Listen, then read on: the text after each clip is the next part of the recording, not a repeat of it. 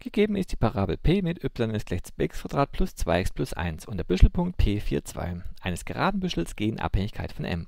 Ermittle rechnerisch die Gleichung der Tangenten t1 und t2. So, stellen wir uns das mal kurz nochmal vor. Wir haben hier unser Koordinatensystem und die Parabel 2x plus 2x plus 1, die sieht meinetwegen so aus. Zusätzlich noch den Büschelpunkt 4, 2. Der ist meinetwegen hier zu finden. So, und äh, ein geraden, geraden Büschel GM. Das heißt, ganz, ganz viele Geraden, die alles eines gemeinsam haben, nämlich sie gehen durch den Punkt M hindurch. Also Sie können meinetwegen, so könnte eine Gerade aussehen oder so. Aber wir suchen jetzt ja ganz spezielle Geraden, nämlich die gleichzeitig Tangente an dieser Parabel P sind. Das wäre zum Beispiel so eine. Und jetzt die zweite ist ein bisschen schwer einzuzeichnen. Ähm, verlängere ich mal ein bisschen die, die Parabel. Dann kriegen wir zum Beispiel hier oben noch einen Berührpunkt. Ja? Also, es kann zwei Tangenten geben. Die blauen in dem Fall. Ähm, vielleicht noch zur Ergänzung. Es kann natürlich sein, dass wenn dieser Büschelpunkt direkt auf der Parabel drauf liegt, dass es dann nur eine Tangente gibt. Die sieht so aus.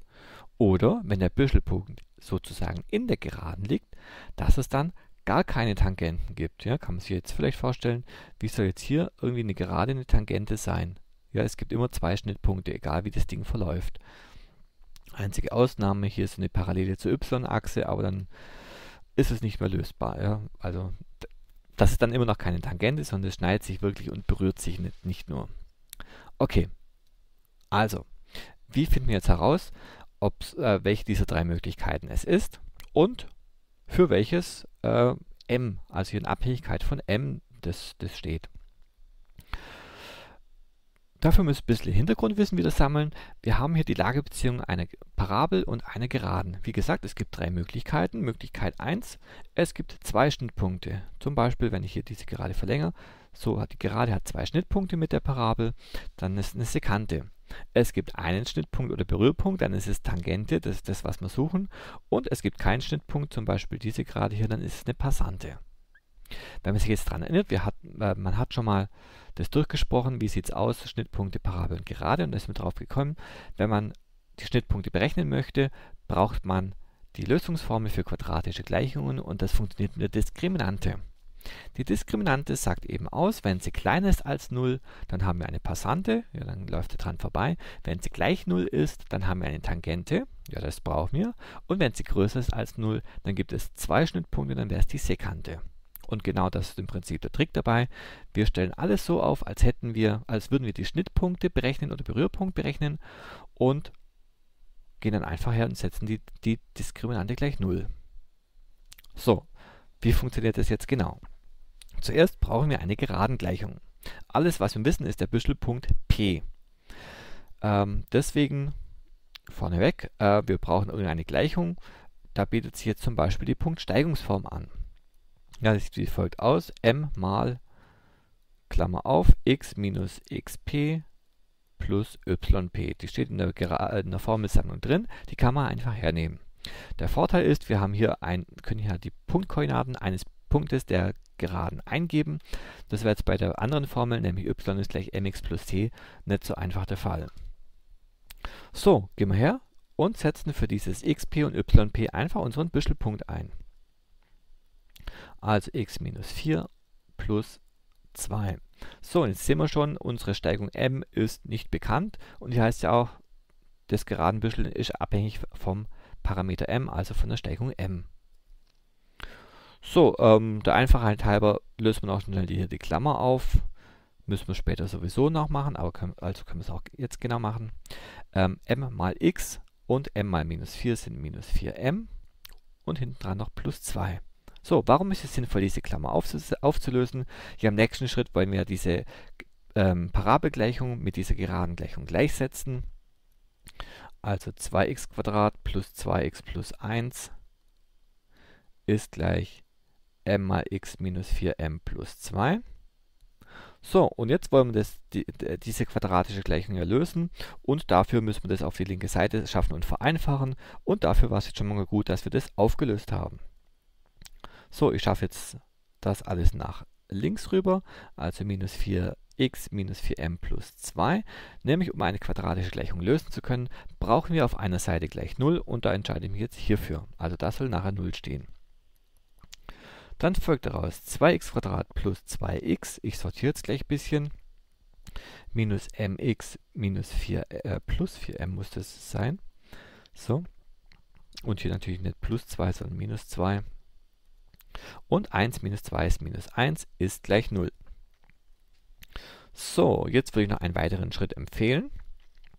Nämlich aus diesen Teilen, aus diesen beiden Summanden hier, ähm, das x auszuklammern. Plus. Wenn ich hier ein x ausklammer, bleibt 2 übrig. Wenn ich hier ein x ausklammer, bleibt minus m übrig. Und den Rest schreibe ich nochmal ab. So, hat einfach folgenden Hintergrund. Ähm, jetzt habe ich nämlich die Form y ist gleich ax plus bx plus c oder halt ax plus bx plus c ist gleich 0 und kann jetzt schön die Diskriminante ansetzen. Die finden wir in der Formelsammlung, die ist gleich b minus 4 mal a mal c. Und um jetzt herauszufinden, was ist mein a, b und c, schaue ich mir die Gleichung drüber nochmal an. Der Faktor vom x ist das a und der Faktor vom x ist das b, deswegen habe ich das ausgeklammert, damit man es gleich sieht und die Zahlen ohne x sind mein c. Jetzt setze ich ganz normal ein, b also 2 minus m in Klammern zum Quadrat, minus 4 mal a mal, und jetzt hinten dran noch der komplette c-Teil. So, vereinfachen, hier vorne haben wir eine binomische Formel, finden wir auch in der Formelsammlung, aber man kann es auch so lösen.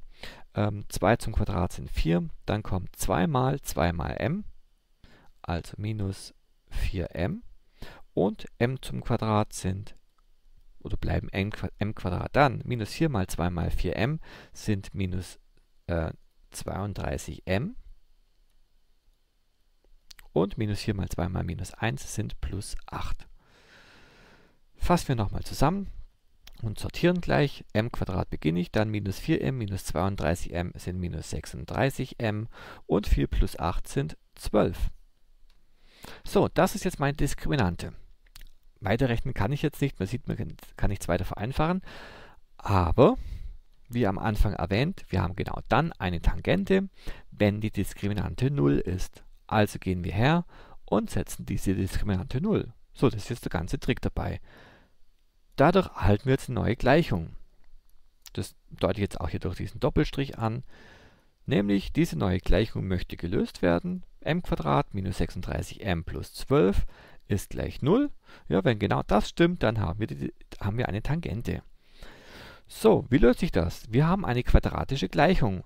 Einziger Unterschied, zwar statt x minus 36x plus 12 haben wir jetzt halt m plus 36m plus 12.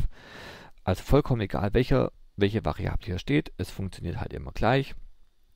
Diesmal müssen wir die Diskriminante be äh, berechnen, wieder Diskriminante berechnen in Abhängigkeit von m. Deswegen schreibe ich dieses kleine m mit drunter.